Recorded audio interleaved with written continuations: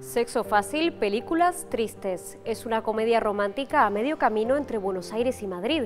Charlamos con el director y los protagonistas de este largometraje sobre el género romántico y sus clichés.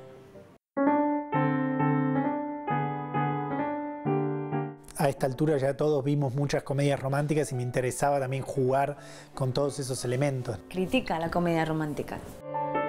Critica los tópicos, pero a la vez habla de la necesidad de, que tenemos de poder soñar. Hay que hacer una película alegre. La gente no quiere bajones.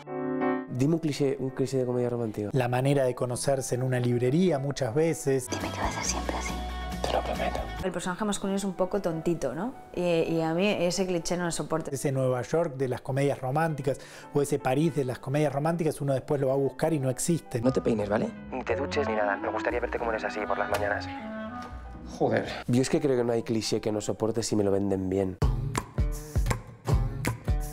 La faena del, de la comedia romántica es que es previsible, es que de alguna manera sabes lo que no va a pasar. Pelotudo, ¿qué querés? Que mate a la madre. Que se muera uno de los personajes protagonistas. No va a suceder nunca. Entonces se acaba la comedia.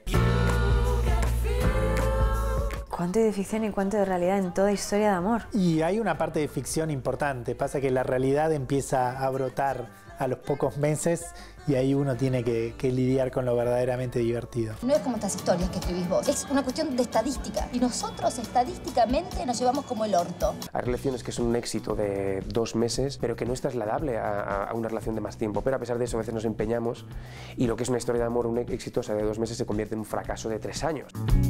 Todas las comedias románticas terminan siempre con una gran declaración de amor. Normalmente en la vida real no hay declaración de amor. Exacto, y te quiero ver 10 años después.